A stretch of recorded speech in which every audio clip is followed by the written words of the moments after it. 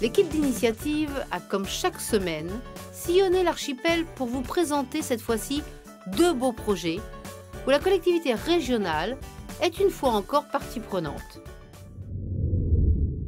Entre 2011 et 2014, 373 stagiaires ont suivi une formation d'agents de surveillance, d'animation et d'entretien des plages et des plans d'eau.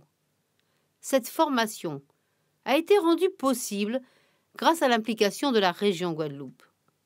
Et c'est la Ligue régionale de sauvetage et de secourisme qui l'a mis en application. C'est une action inédite. Pourquoi elle est inédite? Puisque nous couvrons l'ensemble du département. La, formation est financée par la région. Nous avons euh, accueilli 375 euh, jeunes euh, provenant de toutes ces communes. Les stagiaires ont l'obligation d'être majeurs pour s'engager dans cette formation qui accueille majoritairement des salariés issus du personnel communal, du monde associatif ou de l'éducation nationale et qui pensent reconversion. Il y a aussi euh, des, agents des municipalités euh, qui sont appelés à changer de branche pour des diverses raisons. Nous les, accueillons aussi à la, à la demande de la région. Une initiative financée par la région, mais sur une idée originale de l'Association des maires de Guadeloupe. La sélection est faite au niveau des différentes communes de la Guadeloupe.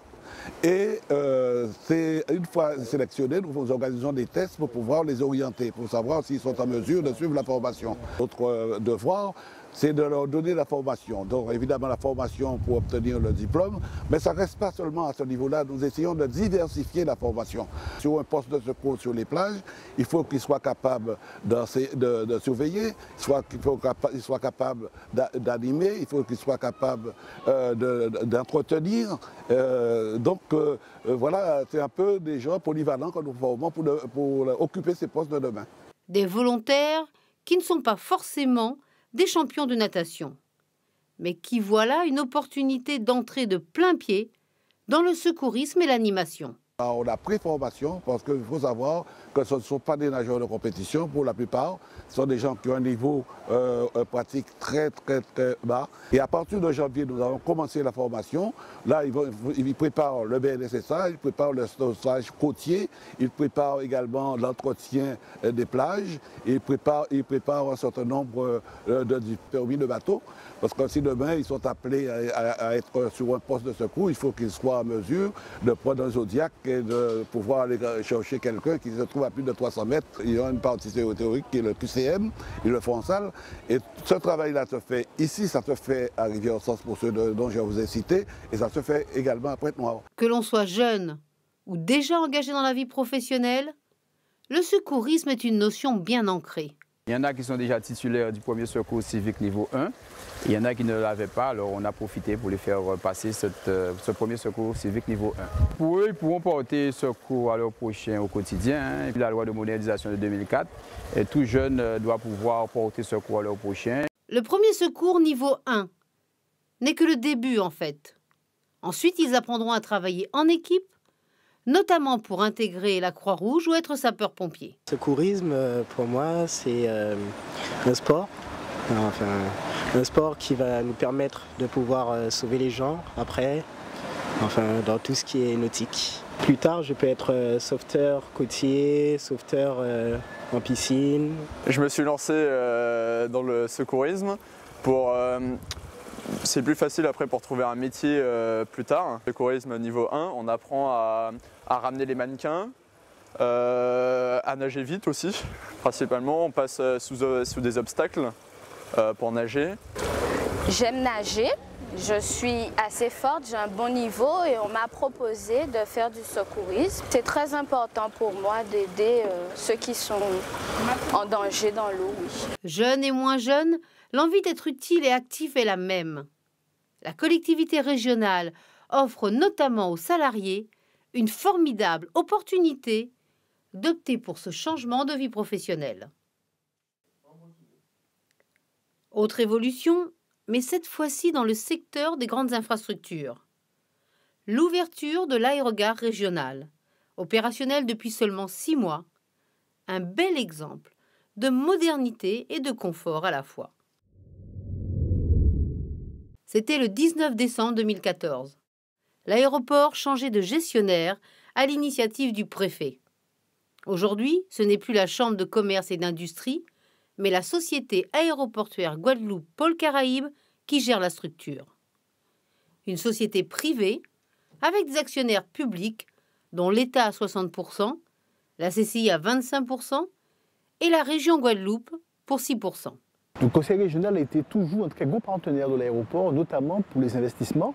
Et en particulier, dès le départ, le conseil régional a marqué son intérêt pour ce projet de gare régionale. Et sous ce projet de la gare régionale, nous avons eu 50% de subventions du FEDER, sachant que le conseil régional était un des partenaires de gestion de ces fonds européens. Et le fait aujourd'hui qu'il soit actionnaire de la société, je pense que ça va être un élément très fort pour l'aéroport pour continuer à être accompagné au niveau de ces gros investissements structurants parce que l'aéroport, ce n'est pas comme un musée, ça vit et régulièrement, donc, il y a des investissements importants qui sont prévus.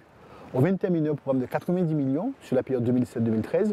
On a quasiment 300 à 70 millions à faire sur le prochain PO. Et là aussi, on compte beaucoup sur le soutien des fonds européens et en particulier donc, la région qui va être l'autorité de gestion de ces fonds. Cette nouvelle gare régionale répond à la fois aux attentes des passagers et prévient de la saturation de l'aéroport international. Aujourd'hui, nous avons des installations dédiées pour ces passagers. Donc c'était la motivation numéro un. Maintenant, la deuxième motivation est un problème de capacité. Donc on savait que quand on allait être installé durablement au-delà de 2 millions de passagers, il fallait trouver une solution pour augmenter la capacité de Pôle Caraïbes. La solution a consisté à enlever du trafic de Pôle Caraïbes et à le mettre à l'extérieur. Ça libère 25% de capacité dans la gare internationale pour la poursuite de la croissance de long courrier. Il y a enfin une troisième motivation, plus stratégique face aux enjeux économiques, et notamment pour développer le trafic sur la Caraïbe. Maintenant, nous, ce qu'on espère, c'est que cet outil sera peut-être un levier de croissance de l'aéroport, parce qu'en fait, on n'a pas fait un bâtiment classique. On a fait un bâtiment qui a une forme un peu particulière. En fait, on a fait une installation qui a été optimisée pour le trafic de transit correspondance. Et nous, ce qu'on souhaite, c'est que progressivement les compagnies s'approprient cet outil, que d'autres compagnies régionales aussi s'approprient cet outil, de façon à bien voir que Pôle Caraïbes peut être le support de trafic de correspondance entre l'Europe et la zone Caraïbe, mais aussi un trafic de correspondance Caraïbe-Caraïbe. Un aéroport régional avec bien évidemment de nouvelles technologies notamment au niveau du contrôle de sûreté des bagages et des passagers. Le passager pourra s'enregistrer, mais pourra aussi enregistrer automatiquement son bagage pour que les compagnies gagnent en productivité, que le passager aussi gagne en confort. Et ce qu'on a fait au niveau de la gare régionale va nous permettre justement de faire de meilleurs choix au niveau de la gare internationale. Et si 50% de cet investissement a été financé grâce à des subventions, l'autre moitié l'est en partie grâce à une augmentation de la redevance par passagers régionaux et internationaux à hauteur de 70 centimes. Air Caraïbes a un statut particulier, puisqu'elle est à la fois à l'international et au régional, en desservant Saint-Martin, Fort-de-France, Sainte-Lucie, Port-au-Prince et Saint-Domingue.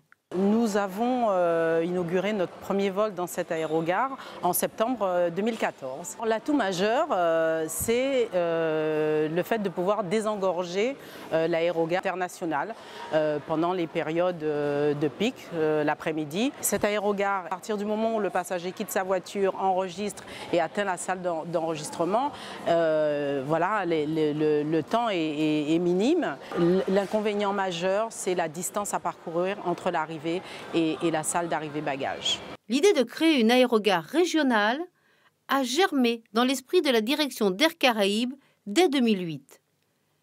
Elle a depuis travaillé de concert avec les autorités de la CCI que nous ayons des, parkings avions qui soient proches euh, des infrastructures, de manière à ce que les passagers puissent aller à leur avion et en sortir euh, en toute sécurité.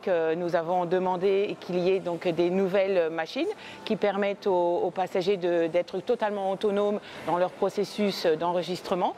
Euh, donc nous avons des bornes de libre service, l'installation d'une dépose bagage automatique. En fait, ça permet, d'éviter des files d'attente, travailler sur des améliorations améliorations, des améliorations qui sont par exemple au niveau donc, des offres de, restauration que nous avons dans la salle d'embarquement, le fait de rapprocher la zone de livraison bagages, ça c'est quand même quelque chose qui nous remonte de nos passagers régulièrement. Grâce à ce nouvel outil, que nous puissions augmenter le nombre de passagers qui, emprunteront nos vols, c'est indéniablement un outil indispensable. Euh, sans cet outil-là, nous n'aurions absolument aucune chance euh, d'augmenter le, trafic donc, sur, nos, sur nos vols régionaux. On ignore souvent que le transport régional représente un peu moins de la moitié du trafic global en nombre de passagers. Parmi les éléments indispensables d'un aéroport euh, régional, il y a, je pense, première chose, le confort, la fluidité, l'accès facile aux avions. Euh, il faut savoir que lorsque un passager prend l'avion, il est toujours stressé. C'est la règle. Il a besoin d'un environnement qui va le calmer. Et c'est ce que l'on trouve ici. C'est effectivement, comme vous pouvez voir, une, forte clarté qui, apaise, des circuits qui sont fluides, euh, des salles d'attente qui sont euh, confortables. Nous, nous faisons que du transport régional. Donc nos passagers sont des passagers qui font des trajets courts. Ce sont aussi des passagers de transit. Et puis surtout, ce que je disais dans un transport régional, c'est qu'à la différence des transports intercontinentaux ou des gros porteurs de manière générale, vous n'avez pas de passerelle qui arrive à l'avion. Et il faut que le, trajet entre la porte d'embarquement et, euh, et l'avion lui-même soit le plus court possible, soit le plus protégé possible. À rapprocher la salle d'embarquement de manière considérable des portes d'avion. Vous avez 10-15 mètres maximum à faire et ça c'est un énorme, énorme avantage. Les clients d'Air Antilles apprécient la nouveauté, la modernité et le confort de cette structure. Et un constat le trafic augmente, notamment sur le Pointe-à-Pitre de Fort-de-France. C'est se, déplacer en intra-Caraïbes. Ce que l'on voit, c'est qu'on a besoin de pouvoir avoir euh, des lignes nouvelles. Donc, en ce qui concerne Antilles, on a déjà commencé depuis l'année dernière. Trois nouvelles lignes. On a ouvert la Dominique, on a ouvert la ligne de Porto Rico et on a ouvert la ligne euh, sur euh, Saint-Martin-Juliana. D'autres projets qui, j'espère, seront mis bientôt en ligne d'ici 6 à 9 mois. La région Guadeloupe a souhaité soutenir ce nouvel outil pour provoquer une ouverture encore plus grande sur la Caraïbe et sur l'Europe.